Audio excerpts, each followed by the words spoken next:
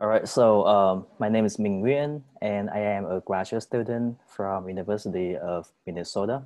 So this talk is a composite Higgs with a composite heavy composite axion.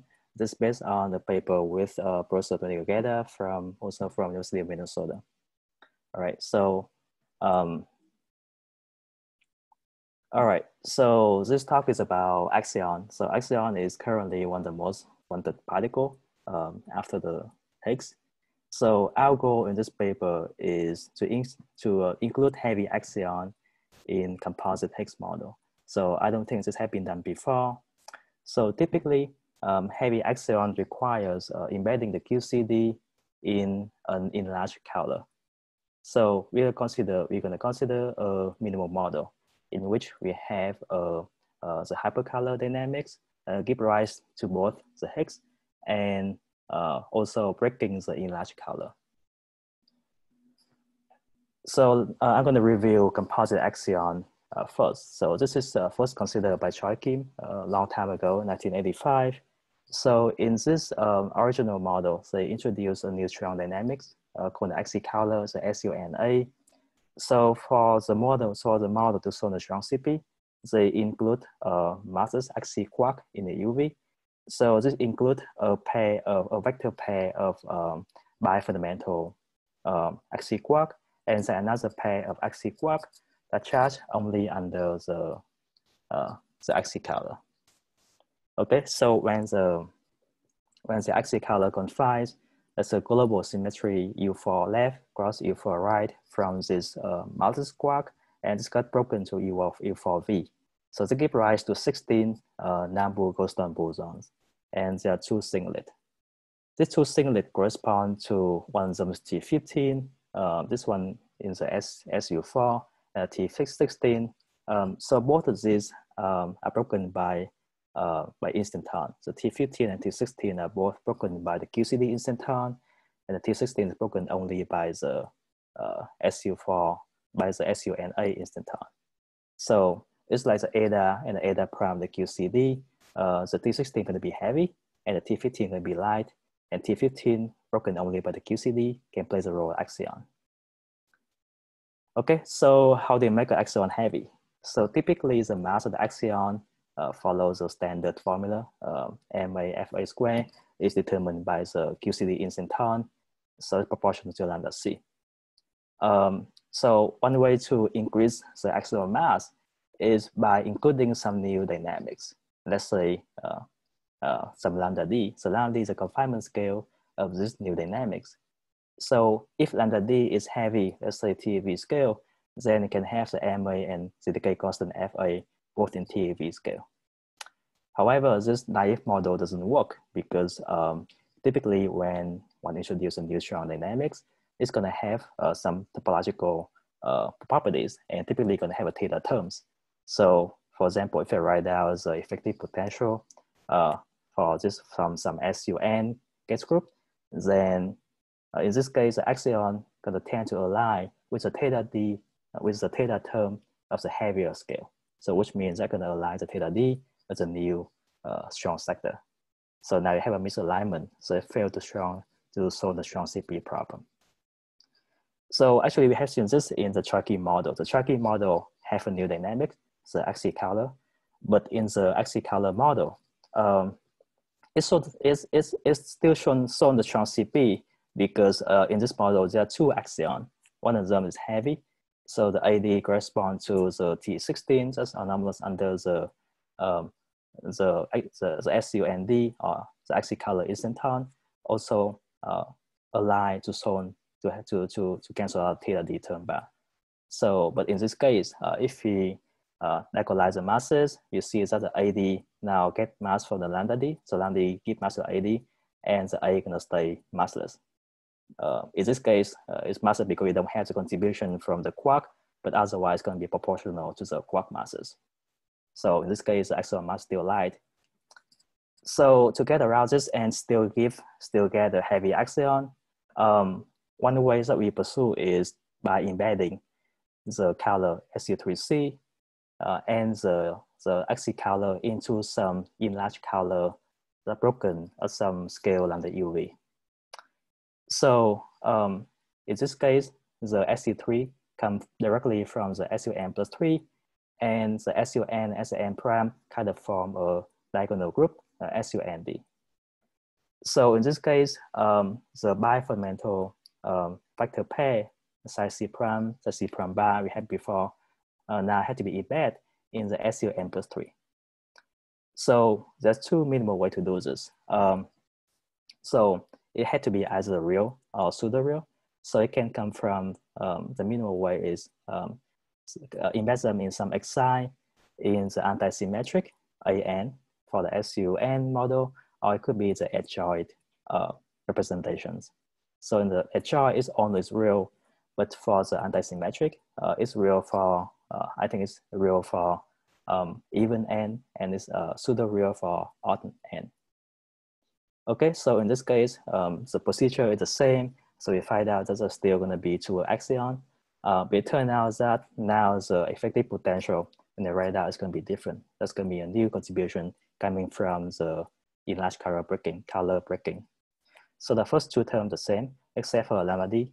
So now the lambda d coming from the SUND instanton, um, now not gonna run from um, cycle zero instanton to one over lambda d, but still gonna be cut off at one over lambda uv because this is, case, this is the scale where the SUND emerge. So instead, the instanton at higher scale only couple to, to AD. So this new contribution is, uh, we call this a small instanton contribution. Uh, this is lambda i. So this only takes into account the SUN prime instanton with size smaller than 1 over lambda UV. So depending on the coupling, say of the Yukawa coupling of the quark in the SUN prime, uh, lambda i could be large. And uh, if lambda i is greater than lambda c, then we have a new source of mass uh, in the effective potential, and the axion gonna now receive mass from lambda i, and it could be a TeV scale even. So one drawback of this light model is the enlarged color had to be broke had to be broken by a scalar. So even though we have um, a composite axion model, we still had to introduce a scalar to break the enlarged color. Okay, so now we're gonna attempt to incorporate um, heavy composite axion into a composite Higgs framework. So there are a lot of ways to do this. And uh, depending on whether the axi quark um, are charged or not charged under hypercolor. So I think there have been many attempts before uh, to have the composite axion into a composite model. So typically the axis, um, the hyperfermion also charged under the CP. Um, so under the, the PQ symmetry. Uh, but in this case, we're gonna consider a, a minimal model. So we're gonna attempt to break the unified color just through some hyperfermion condensate. And we're gonna consider the case when the axi quark are totally separated. So they don't have any hypercolor charges. So how they realize this, how they this uh, unified color. Um, well, so in composite, in composite Higgs model, there's gonna be some color state. So let's say the psi here is a, a constituent that give rise to the Higgs, so the psi psi bound state give rise to the Higgs. Uh, and typically the composite Higgs model, composite Higgs model um, require to get a master top partner. This is usually realized through the partial compositeness mechanism. So one needs to introduce some hyperfermion, some color hyperfermion, uh, in this case, chi. So chi here is uh, fundamental under the QCD. So the psi chi psi um, with the appropriate assignment, um, they can uh, for a bound state and assuming the large anomalous dimensions, they can play the role of a top partner. So when the color is enlarged, um, chi also had to be enlarged uh, into the SUN plus three. So into some psi chi in this case. So it turned out that the psi chi bound state can actually break can actually break the enlarged color through some four fermion interactions. So here is an example of the models that we consider. So in this case, um, the gauge group, the hyperfermion, the hypercolor is a SU4, and we have a SU5 global symmetry for the psi, and then a U2M plus 3 cross U2M plus 3 symmetry for the psi chi. So we write down the four um, we write out an NJL model. We write out a four fermion interaction model for this uh, for this uh, top partner for this chi. And then it turned out that uh, the symmetrical breaking pattern gonna be dependent on this four fermion coupling. So in this case, uh, the zeta r and zeta r prime correspond to the coupling kappa r and kappa r prime that kind of control the kind of uh, couple uh, the same family. So chi and chi bar both charged under SUN plus three, and the kappa delta and kappa delta tilde um, actually couples the particle from the SUN plus three to SUN prime. So if the zeta kappa, zeta delta, and zeta delta tilde, which means the cross coupling is strong, then it turns out that the symmetry can be broken to the SUN cross SU3. All right, so this is a cartoon uh, picture of how the model work. Uh, so it's a home picture of the model. So we have a global symmetry. Uh, if you pick a SU4 um, hypercolor, then have a SU5 um, global symmetry. So this uh, coset give rise to the Higgs doublet. And then the same hypercolor uh, dynamics also break the, the enlarged uh, strong sector, give rise to the SU3. This is identified with the QCD, and now the SUN now can be identified with the axicolor. So here we write down the, the normal constituent for the uh, for the axi quark, but we embed uh, if we embed the the size C into the SUN plus three, then one of this axion, one of the singlet could be heavy. Okay, so actually, so this new embed can actually constrain the choice of hypercolor uh, from the something. So the hypercolor had to be asymptotically free, and also the SUN plus three, and also the uh, large color. So uh, in the figure here is uh, the two choices. On the left side is we consider the, um, the SP um, hyperfermion, and on the right side the SU4. So on the left side, uh, the representation of the psi is fundamental, and the chi is uh, anti-symmetric, the traceless anti-symmetric, and on the right side is, uh, is vice versa. So it turned out that uh, this kind of model favor a smaller size, a smaller representation for the chi. Just not surprisingly, because we enlarge the, the chi uh, into bigger, it's going to be dependent on the number n. So uh, that's why we favor a smaller representation for chi. Okay, so um, with this, um, this is some value for the masses for the axion uh, in a few cases. So if we have the SU4 cases, um, so the lambda SC um, and the lambda D gonna be uh, determined from each other. So if you know lambda D, we know the coupling alpha primes, and that's gonna determine lambda SC, or vice versa. So one can theoretically um, have a particle content as a lambda SC, and then run everything down and get on the scale.